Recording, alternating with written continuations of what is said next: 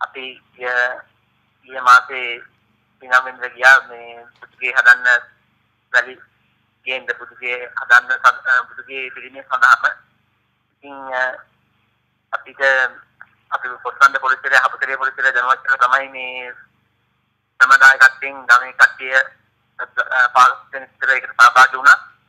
ඉතින් වැඩි ප්‍රවාහනය කරන්නත් අපේ පින්වත් මහත්මයෙක් ඉදිරිපත් වුණා බුදුගේ කියපු නිසා. ඉතින් ඒ විදිහට වැලියක අරගෙන ඉද්දී බණ්ඩාර කොට්ටා විමර්ශන මහතුරු දෙනෙක් ඇවිල්ලා ඒක අත්දැකීම් දැන් උසාවියට ඉදිරිපත් කරා 11 වෙනි මාසේ 30 වෙනිදා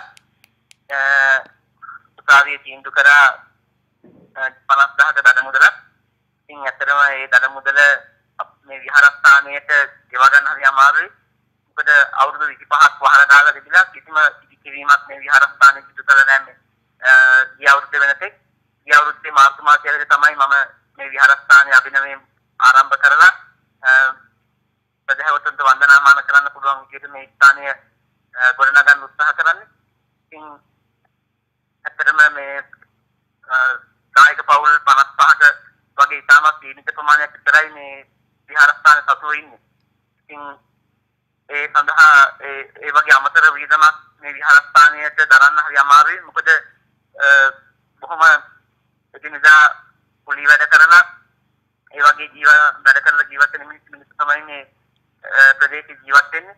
ඉතින් ඒ බුදුගේ හදන්න වැලිය එක නොමිලේ ප්‍රහාණය කරන්න තමයි එතුමා ඉදිරිපත් වුනේ. ඉතින් එතුමාට එතුමාව අපිට අත්හරලා දාන්න හැකියාවක් ලැබෙන්නේ අතරම හැකියාවක් නැහැ. මොකද එහෙම වුණොත් අපි අකුසන්‍ය වෙනවා විහාරස්ථාන වෙනින් මේ විදිහට මේ මේ ඉදිරිපත් වෙලා මේ සම්බුදු සාසනයේ චිර පැවැත්ම උදෙසා සක්‍රීය දායකත්වයක් දීලා ඒ වගේ කරදරයකට පත් වෙච්ච වෙලාවක අපිට පිටපන්න හැකියාවක් ලැබෙන්නේ නැහැ. ඇත්තටම පින්වත් ඔබ හැම කෙනෙකුටම හැකියාවක් තිබෙනවා නම් මේ විහාරස්ථානය වෙනුවෙන් මේ ගඩ මුදල ලබා ගැනීම සඳහා පරිත්‍යාග කරන්න. ඒක අපිට මහා ශක්තියක් බවට පත් වෙනවා. ජනවාරි 2016 ජනවාරි 7 වෙනි තමයි නැවත නඩු දිනේ තියෙන්නේ. ඉතින් එදා එදාට මේ ගඩ මුදල අපි සම්පූර්ණ කරගෙන උසාවියට යා යුතුව පවතිනවා ඉතින් බොහෝ දෙනෙක් කතා බහ කරා ඒ කතා බහ කළා වගේම අපි අපිට මේ ගඩ මුදල සම්පූර්ණ කරගෙන ඒ තුමාව නිදහස් කරගන්නට අවශ්‍ය වෙනවා. ඉතින් ඒ සඳහා හැම කෙනෙකුටම හැකියාවක් තිබෙනවා මේ විහාරස්ථානයේ අභිවෘද්ධිය වෙනුවෙන්. ඒ වගේම මේ දඩ මුදල පියවා ගැනීම සඳහා ආධාර උපකාර කරන්න. මොකද ඇත්තටම මේ විහාරස්ථානය අවුරුදු 25 වෙනවා ආරම්භ කළා. හැබැයි කිසිම කෙනෙක් මේ වෙනතෙක් විහාරස්ථානීය විහාරස්ථාන ඉස්තිර වශයෙන් වැඩ සිටිනේ ආම්දවරු මම ගිය අවුරුද්දේ මාර්තු මාසේ තමයි යාල් මෙතනට ඇත්තන්ට ඇවිල්ලා සිංහල දෙමළ සුහදතාවයෙන් තමයි මේ විහාරස්ථානය එක පැත්තකින් ගොඩ නැගෙන්නේ. අපි දහම් පාසල පටන් ගත්තා. දහම් පාසලේ සිංහල දරුවන්ට ඇදී දෙමළ ළමයි තමයි සහභාගී වෙලා ඉන්නේ. ඉතින් ඒක අපිට ලොකු ශක්තියක්.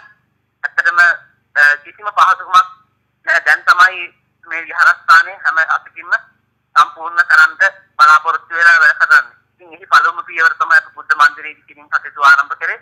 ඉතින් ඇත්තටම තව බුදුගේ හදන්න මුල්තල තියලා අවුරුදු එකමාරක් පමණ ගත වුවත් එහි වැඩ නිමා කරන්න අපිට හැකියාවක් ලැබෙන්නේ නැහැ මේ වෙනතේ.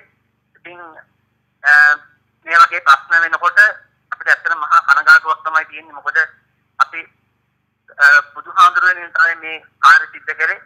එතකොට බුදුහාඳුර බුදුහාඳුරන්ගේ ප්‍රතිමා වහන්සේ නමක් බුදුහාඳුරට තුන් අවස්ථා තුනකදී මේ දේශේ පූජා කරපු පූජා කරලා තියෙනවාද අපි දන්නවා.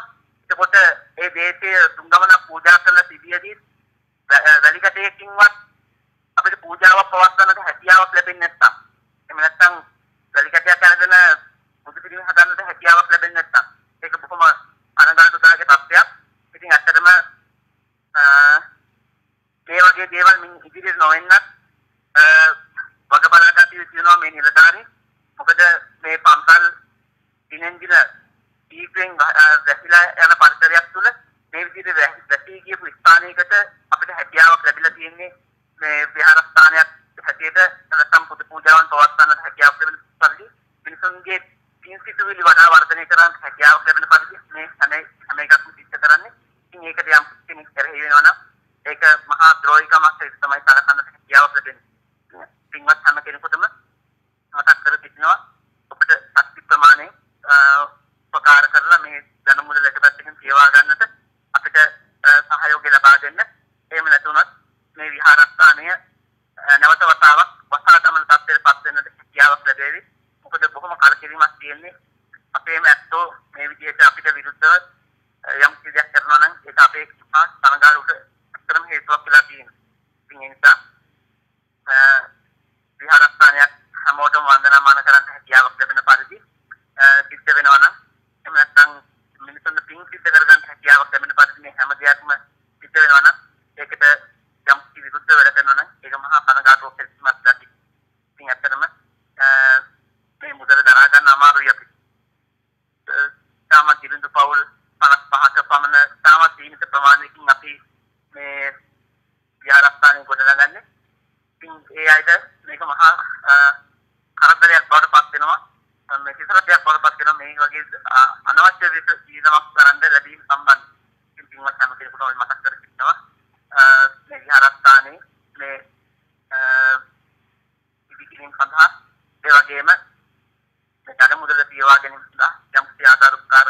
බලාපොරොත්තු වුණා ඒ දෙයක්ම සම්බුද්ධ ශාසනය කියලා පැවැත්මට පිට කරන්නට කියලා. ඒරුවන් සරණයි.